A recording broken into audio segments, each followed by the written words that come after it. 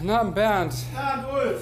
Na, hast du das auch geschafft? Ja. Boah, da wird auch Zeit, dass wir, heute, ja. dass wir heute nochmal nach Hause kommen, ehrlich. Alter, sieh mal, eine Kamera. Was sagst das du da? glaube ich jetzt nicht. Da steht eine Kamera. Die Emily überwacht uns. Die, Ach, die überwacht uns. Das ist wirklich eine Kamera, aber ich würde ja Nee, nicht sagen, nee, warum, nee, ist, warum das- soll die von Emily sein? Der ist die einzigste, die ist zu neu. Die überwacht uns. Die schnapp ich mir jetzt. Ach, Bernd, du machst dir doch mehr Ärger als. Ach, sag mal, wir können das doch anders machen. Ich rufe erst mal die Polizei, beruhig dich. Tom Meyer und Moritz Breuer folgen dem Notruf des Lackierers. Der aufgebrachte Kollege des Melders hat allerdings schon selbst gehandelt. Die Polizei ist hier, hallo. Hallo, lassen Sie die Frau raus. Lassen Sie die Frau raus. Zurück, zurück, zurück.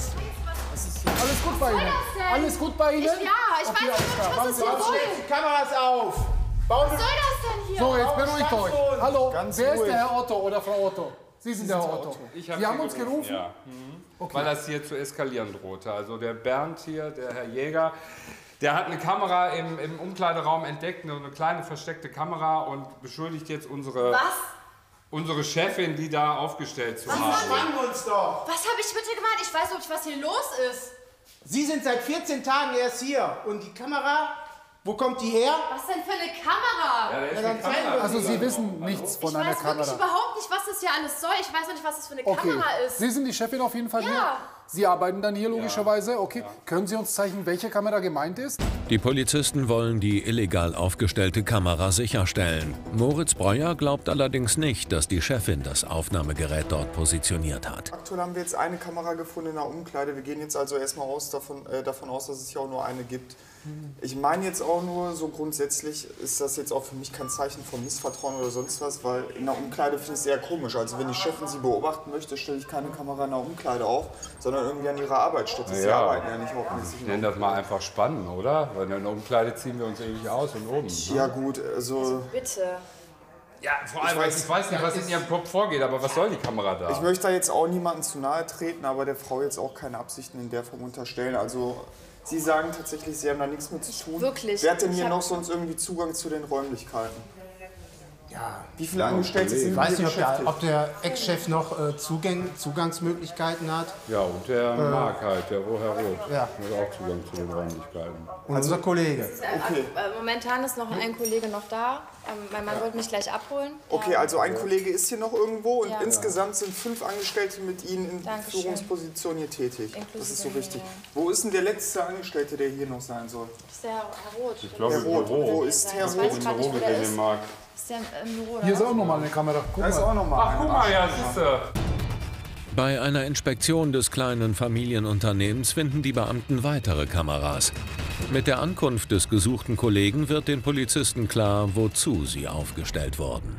So, wir sind hier, weil es zu einer Auseinanderse- Auseinandersetzung in dieser Lackiererei gekommen ist. Anlass war, dass hier irgendwie Kameras aufgestellt waren. Kameras. Kameras tatsächlich und die Mitarbeiter sich beobachtet gefühlt haben. Unter anderem Ja, dann war das ja doch kein Scherz. Gestern hat mir ein Kumpel eine, ein Bild von mir geschickt Bild auf von einer dir, ja? Internetseite.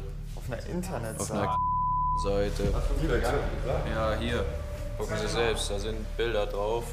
Aber jetzt nach rechts wischen. Wer von uns oder nur Das wird ja immer mysteriöser, ganz ehrlich. Also, Ja, guck mal hier, der der Mark hat wie mir er nur meine geschickt. Aber warum sagen Sie denn sowas nicht, wenn Sie Aber sowas wie gesagt, war gestern, ich dachte, das wäre ein Scherz. Gibt es da einen äh, Account oder wird das halt Ja, quasi ich online wollte es dir gestellt? gerade sagen. Schau mal hier, Username AL. Was soll das denn? AL 1986. Das ist ja wohl.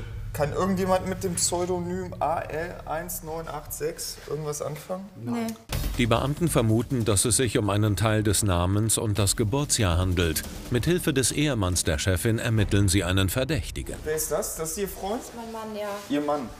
Was ist hier los ist, ey, ganz ehrlich, das sind Kameras irgendwie. Äh, Wie Kameras? ja, keine Ahnung. Ich bin da eingesperrt worden und äh, weil mir unter Chef, ich würde hier alle ausspionieren. Wer dich eingesperrt? Ja, Jäger. Das, Das ist ist jetzt schon auch schon okay. ist Wir schon haben ja okay. schon geklärt. Okay. Ich hätte gern einmal einen Ausweis von Ihnen. Ich wüsste Ja. gern, wer Sie sind. Ich bin Ihr Mann. Ja, wie Ich bin heißt der Timo Sie? Albrecht. Timo Albrecht. Ja. Also von, Habe ich jetzt von, im seinem, Auto, habe ich jetzt nicht hier. Aber ich von seinem bin Papa habe ich die Firma Ja. Ah, okay. Wann sind Sie denn geboren, Herr Albrecht? 84, 16 August. 84, okay, 6. August. Können Sie zufällig irgendwas mit dem Pseudonym AL-1986 anfangen? Wie bitte? AL? Unterstrich 1986 AL? Kennst du das? Das sagt Ihnen was? Das ist dein Ernst. Ja, interessant. Das ist von Daniel, das.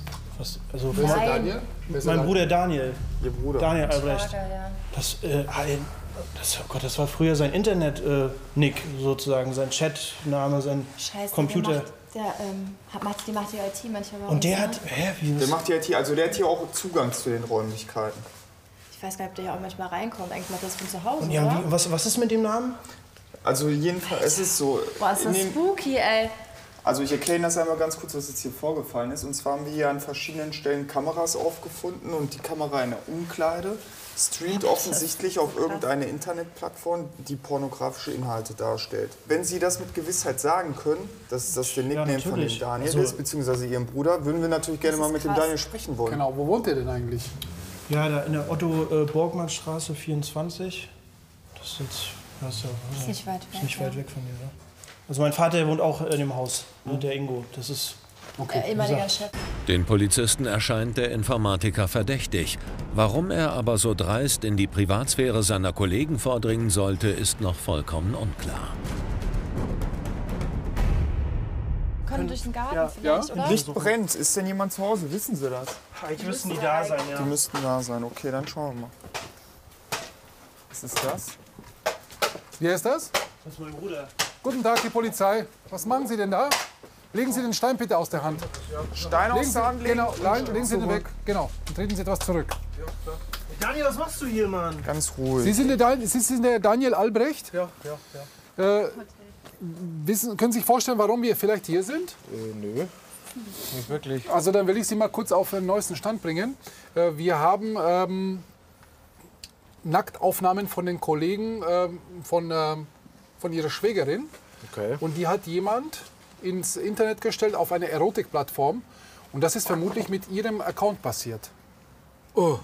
Sie haben ja AL 1986. Ja. Ja, gib's doch Ja. einfach zu. Das ist doch dein Account. Das ist mein Account, klar, aber ich Ja, meine, die benutzen so hat Nutzer sich und vielleicht du. jemand eingehackt oder so. Das ist ja ein großer Zufall, oder? Du machst bei uns die IT. Du hast doch Ja, klar. Zugang. Ja, was Ja, soll denn das hier? Ich mein, Und was machen Sie hier? Sie Ja, zerstören hier ja Festplatten, oder?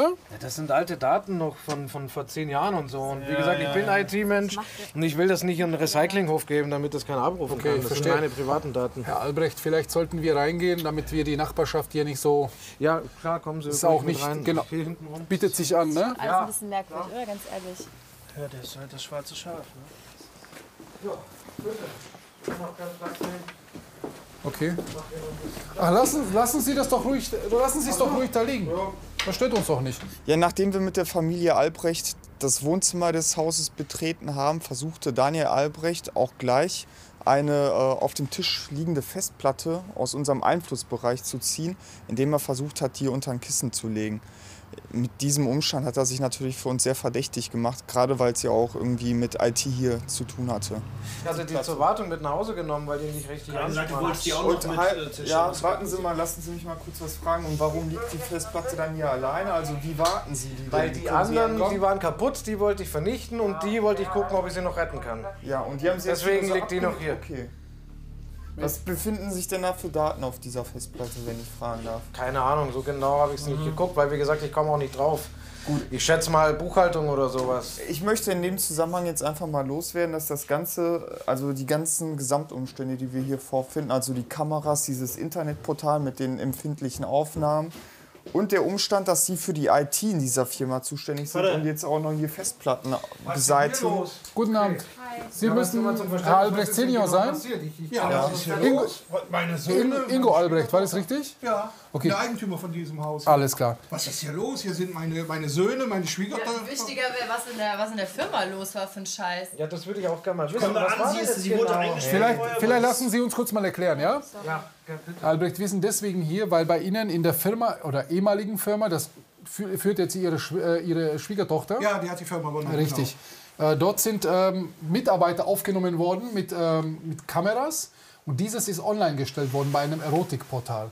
Von meinem Sohn. Äh, das Hast du sie noch alle? Ich hab doch nichts wir. gefilmt. Ja, du mit bist immer mit, Papa, mit Kameras also bitte, dran. Du bist ich immer hab- am Filmen, immer mit Ich hab doch nichts mit Kameras zu Jetzt tun. sind Sie doch mal ein bisschen ruhiger. Das hilft jetzt hier nicht gerade weiter, wenn Sie sich gegenseitig anschreien. Herr Albrecht, an Sie die Frage. Als ehemaliger Inhaber der Firma, können Sie dazu was sagen, ob sich zu dem Zeitpunkt, als Sie da noch tätig waren, schon Kameras in dem Gebäude befunden haben? Ich muss das jetzt leider sagen, das ist ja meine Schwiegertochter, aber seitdem die diese Firma übernommen hat, da ist Sodom und Gomorra, glaube ich. Du bist genauso schuld dran. Ich sehe das. Also, ey, wie soll ich das sehen? Es läuft alles ich, super. Äh, ich bekomme das ja mit, dass da die Umsätze runtergehen und da, Ach, jetzt da muss man noch mal ein bisschen überprüfen, nachprüfen. Also, das ist ja auch nicht normal. Wieder muss man nachprüfen. Also das hört sich jetzt für mich eher so an, als ob Sie was mit den Kameras tun. Ich, ich nicht. Er ist hier, er macht damit. Wieso sagen Sie denn Sachen wie, dass Ihre Schwiegertochter überprüft werden müsste? Da habe ich mich versprochen.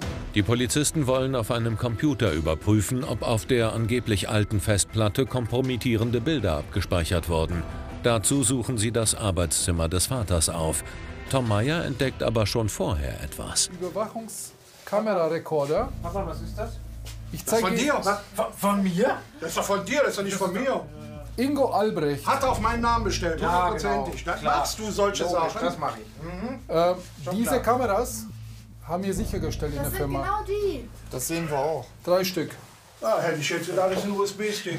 Komm, Papa, dann schließ doch mal auf. Du bist Ja. sowieso die letzten Wochen hier, wo du dich einschließt. Ich weiß Ja, weil du nicht, sonst überall dran gehst. meine Ja, keine Ahnung, Jetzt ein bisschen ruhiger, bitte. Ich war eben auch hier, Sie sehen nicht weit noch. Also hier ist so mein kleines Reich. Ah ja, und die Bilder, Ja, die Bilder, die, die, das sind jetzt einfach Bilder, die ich damals Guck mal, gemacht das ist habe, das Büro. ja, Das ist nicht das die Ernst, oder. Papa? Das ist die ich- Oh, Werkstatt. Junge. Das sind doch Bilder, die habe ich gemacht, als ich ging mit der Digitalkamera. Zuletzt war ich vor zwei Wochen in dem Raum. Da war das noch nicht da. Gut, zwei Wochen ist, ist natürlich auch hier? der Vor zwei Wochen ja. war hier noch nichts.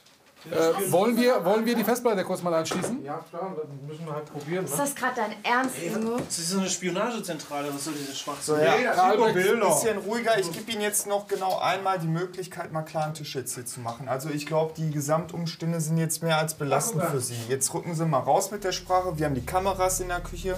Wenn ich das nicht tue, mache ich strafbar. Ne? Das ist nicht Also dein nicht Ernst. Also, Wenn ich jetzt nicht die Wahrheit sage. Ja, Sie müssten, also Sie sind grundsätzlich erstmal verpflichtet. Also Sie müssen hier, wenn Sie sich strafbar gemacht haben, keine Aussage mir gegenüber machen. Nur es würde uns allen jetzt hier helfen, wenn wir mal Licht ins Dunkeln bringen würden und wüssten, was vorgefallen ist. Ich meine, da sind Personen auf einer Internetplattform aufgetaucht, ja, die sehr empfindlichen Inhalt hat. Also ich glaube, Sie würden es auch nicht so toll finden, wenn Sie sich im Internet auf so einer pornografischen Seite gegen Ihren Ach, Willen wiederfinden würden. Nee, also da muss ich jetzt mal was sagen. Also, äh, ja, ich habe den Betrieb überwacht. Ja. Was?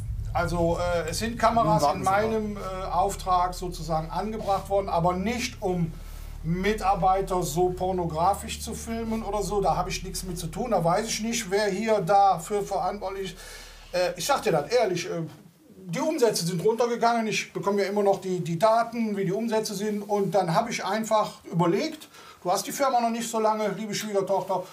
Du bist ja Ingo, schuld. ey, Ingo, zwei Wochen, zwei Wochen. Kannst du ihr mal ein bisschen einarbeiten. Zeit geben? Ja, Also dann hat, bitte. nee, habe ich nicht. Ich bin ein älterer Mann und äh, dann habe ich da die Kameras anbringen lassen und habe mal alles so beobachten wollen, also wie gearbeitet wird, wie, wie, wie auch alles reingehalten wird und alles. Wie kommen diese Aufnahmen, die Nacktaufnahmen auf diese Plattform? Das ist eine Das war gute. Frage. Das waren Sie. Ja. Also wenn wir schon einen reinen Tisch machen, Oh, Und okay. warum? Was treibt Ich- Sie dazu? ich habe, ich weiß auch nicht, ich habe ich hab im, im Laden die Wartung vorgenommen und wollte ein Kabel austauschen und, und sehe dann in der Umkleide, dass da eine Kamera hängt. Diese eine, ich habe nur diese eine gesehen und dann dachte ich mir, okay, ich verdiene auch nicht wirklich viel. Und das sind ja auch gestandene Mannsbilder, die Jungs. Ich meine, die haben da sicherlich nichts dagegen. Und dann dachte ich, Ich glaube schon, dass sie was dagegen haben. Verdiene halt ein paar Euro dazu. Der kontrollwütige Vater und sein Sohn, der die Bilder kommerziell verwerten wollte, werden wegen Verletzung des höchstpersönlichen Lebensbereiches angezeigt.